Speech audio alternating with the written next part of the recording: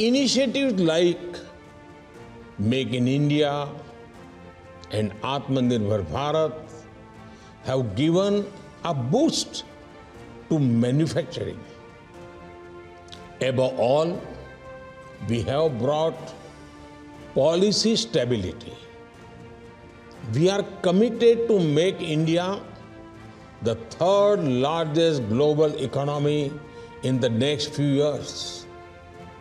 Friends, current global challenges from the pandemic to geopolitical tensions have tested the world economy.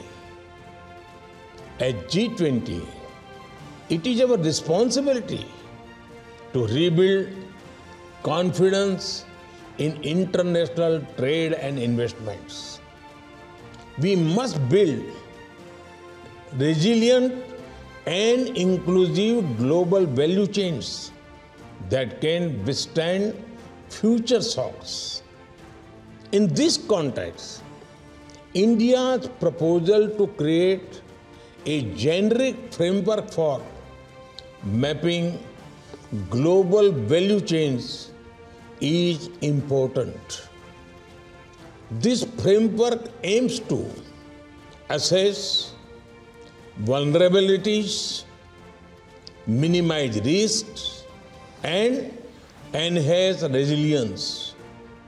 Excellencies, technology's transformative power in trade is undeniable.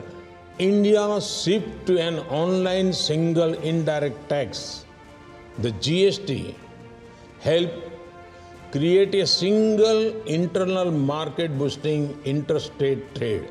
Our unified logistic interface platform makes trade logistics cheaper and more transparent. Another game changer is open network for digital commerce which will democratize our digital marketplace ecosystem.